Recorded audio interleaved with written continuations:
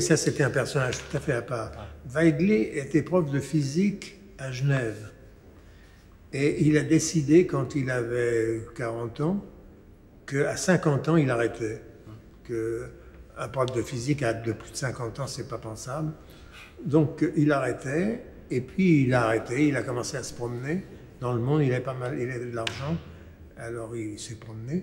Puis, il a atterri un jour à Pasadena, chez Delbruck. Il a été fasciné par le phage. Et il s'est mis à faire. De, il est revenu à, à Genève avec Lambda, K12 et tout le Fourbi, toute la panoplie.